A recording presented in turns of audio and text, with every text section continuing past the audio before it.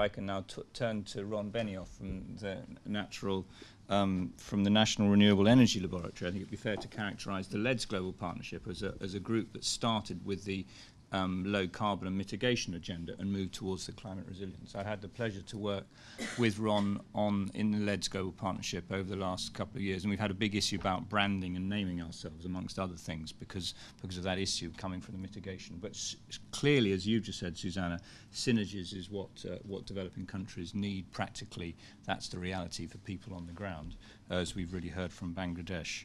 So I'm, I'm, i will pass you the, the, the mic, Ron, just just just to just to say that uh, Ron, officially you have a job actually in the United States, although I gather you live somewhere else at the moment. But um, you're manager of the multilateral programs the United States National Renewable Energy Lab, NREL. Um, but what you've been doing is leading um, the LEDS Global Partnership Secretariat, also uh, in partnership with CDKN the work of the Green Growth, Growth Best Practices Initiative, and working on the Clean Energy Solutions Center, which is a Clean Energy Ministerial Initiative of the United States government. So, Ron, it's great to have you here um, and to share some of your thoughts about not only how action is happening, but how we can drive scale through knowledge networks. Thank you very much, Sam, and um, thank you all for, for joining it. It's a, I think, very important discussion and very timely as well. Uh, I'll um, touch on three issues. I'll touch on sort of what what do we mean when we say knowledge sharing? What are the what are the mechanics?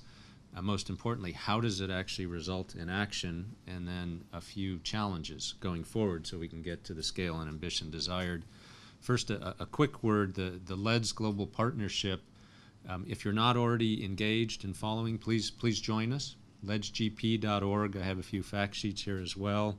It's an open forum. We have more than 115 countries international institutions, uh, donors, multilateral, bilateral, technical institutes who are working together through regional platforms in Asia, Africa, and Latin America. We just had a big uh, event with our Asian partners, 240 folks gathering, um, and through global working groups on analysis topics, planning topics, sector measures, and, and finance, all with the idea of harnessing the power of collective action and collective peer learning to um, assist each other in doing our jobs better. And ultimately, the goal is to assist the developing countries with um, low emission, climate resilient development strategies. And the development word is very important. The emphasis is really on helping countries advance development objectives through a transformation to climate resilient, low carbon activities. Um, so please um, join us, get engaged uh, if you're not already. So in terms of the um, how, uh, what, what, are the mechanics? What do we mean in knowledge sharing? Because this is a broad topic. To me, there's sort of five elements of it. There's peer exchange uh, and, and peer learning forums and communities. Um, so communities like the LEDS Global Partnership, communities um, like uh, the R40 initiative, um, communities like the Climate and Clean Air Coalition, and many other communities, and they interact both um, in person and on the web, uh, you know, virtually uh, through through many different um, activities at all levels of government, organized by topic, by government, by stakeholder group. It's a very diverse um, set of peer exchange forums.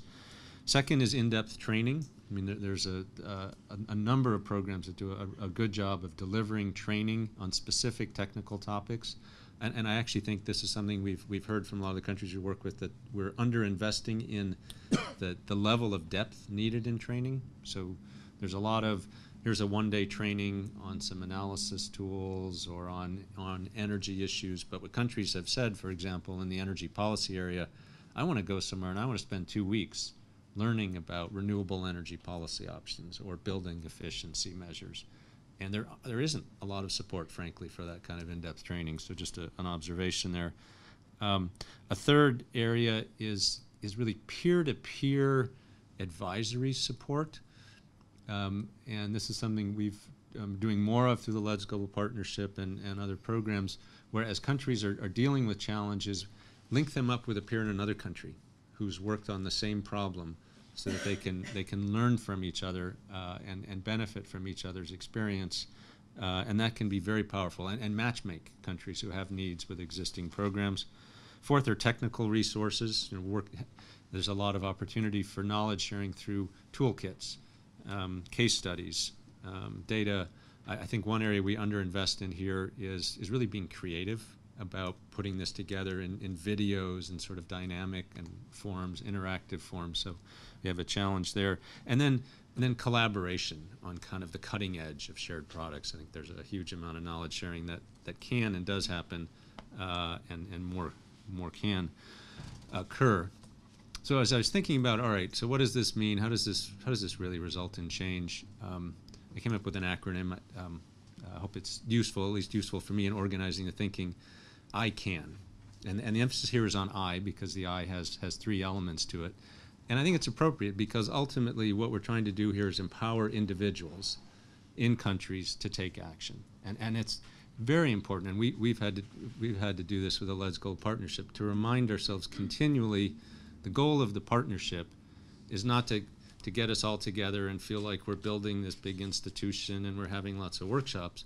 The goal of the partnership is to assist countries in moving action forward, and we have to be very rigorous about how we evaluate our progress based on what's happening in the ground. So, the three I's inspiration. We've seen a huge power of countries coming together and inspiring each other. Um, for example, uh, we had a, a, deputy minister from Kenya who came to one of the first LEDS Global partnership meetings that Sam and Caroline uh, uh, hosted at Latimer House. And has, he saw what other countries were doing on low carbon planning he all of a sudden got it. To this point, his staff had been saying, "Hey, we're trying to work on this LEDS strategy. Help us out." And he was like, "LEDS, NAMAs. Why should I care?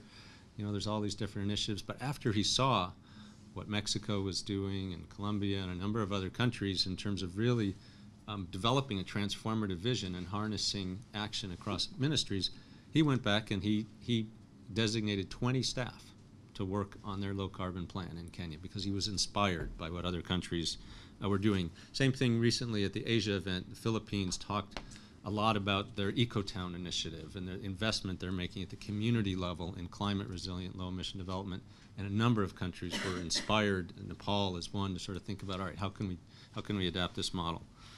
Um, second is innovation. You know, there's nothing like working on a cutting edge approach that really gets people excited. And, and, and I think for these networks and peer learning to, to have value, you can't just work on, okay, here's some access to some data sets and uh, here's some training on kind of basic building codes. People want to people want to be at the leading edge, and we all want to work together. Um, so, for example, there's work that E3G is doing with LEDS Global Partnership with support from CDKN, working on finance innovation for LEDS strategies looking at what, what are the innovative approaches in creating green funds and budget allocation and credit enhancement mechanisms. In, in a number of countries in Latin America, we're also extending that in Kenya and uh, India and Mexico, and that's generating a real buzz. It makes it come alive. People are excited about sort of trying something new. Um, it's not only in developing countries, though. Through the, the Clean Energy Ministerial, we're working on a 21st century power partnership that has has Denmark and it has um, the U.S. and it has Ireland and Australia, um, the UK, a number of other countries who are all looking at high amounts of renewable energy penetration into the grid, so a variable resource, some challenges, how to integrate that with effective um, grid management strategies and, and, demand response so that we can have a, a grid that can really uh, move away from dependence on fossil fuel and enable us to get to 50, 60% renewable penetration. And the, but it's all innovative stuff. Nobody knows how to do it, right? So we're bringing the grid operators together and the regulators to learn from each other. The third I is information. Um, information uh, on, on tools, um, such as, so for example, in the LEDS Global Partnership, we have a low carbon transport toolkit, because this is an area of, of strong interest. It's, it's uh, tends to be overlooked for whatever reason by a lot of bilateral assistance programs. And so there's been a huge demand for, give me examples of what options are available for bus rapid transit and other other other tools. Um, best practice studies, as Sam mentioned, involved in this big green growth best practice analysis to pull together examples of what's work, what's not working.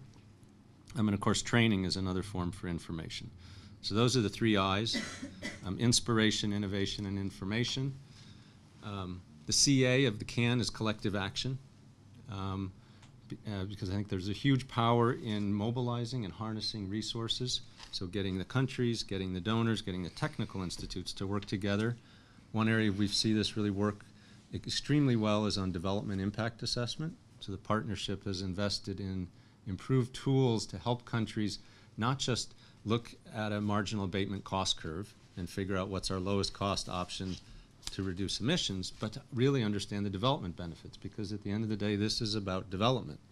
And so we, cross countries and across donors, there's a, a big effort to work on, on tools for estimating and visualizing the, the poverty reduction benefits, the local air pollution benefits, the energy security benefits, uh, and, and other related social uh, and economic benefits. And this has been a very powerful uh, approach uh, for working together. Another example the LEDS um, GP for, is working with um, the North African and Arab countries on a regional roadmap um, on green economy. And the power there is the countries are working together on a, on a kind of common approach and strategy, and, and we're advising. And then finally, the end is really about networking and, and, and networking to um, give countries access to expertise and to programs who can provide assistance. So we have an advisory service under the LEDS GP, for example, that provides quick response assistance to countries on analysis, on planning, and on sector measures and finance measures. It's been very, in a short amount of time at least, we, we're seeing great promise. Um, we, we helped uh, Ivory Coast on their bioenergy strategy link up with the FAO that's now providing more in-depth ongoing assistance on their bioenergy strategy.